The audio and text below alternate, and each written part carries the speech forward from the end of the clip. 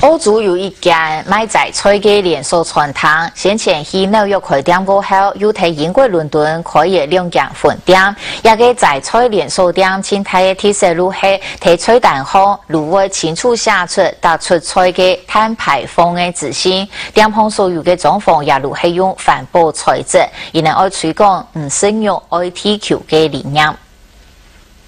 托伦敦书法期间 L 塔 B 湾连锁餐厅，听讲系全球第一间无卖用类嘅低碳连锁在线餐厅。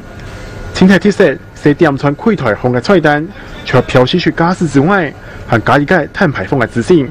那些同食物基础嘅高强度排放出来嘅温室气体总量，提供本人较低，推广对食那些上年人减碳 ITQ 嘅理念。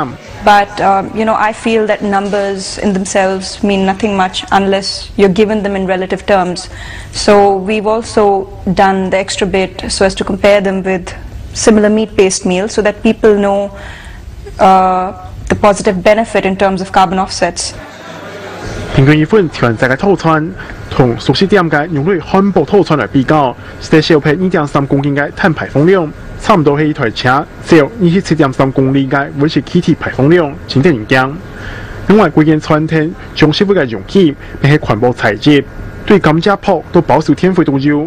人客坐喺頂，並係環保竹切木土嘅燃料，基本用嘅系回收玻璃。但是英國民眾對呢種餐厅一啲冇乜興趣。No, I maybe more. I don't think I wouldn't go completely. I like my meat too much.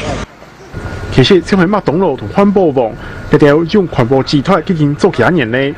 環保王甚至土地怪快一間三年嘅餐廳，有塔利灣基金到倫敦快兩間分店，年底還係投入境嘅快第三間。未計劃喺比利時一啲歐洲國家快分店，希望慢慢改變大家接受一種低碳排放。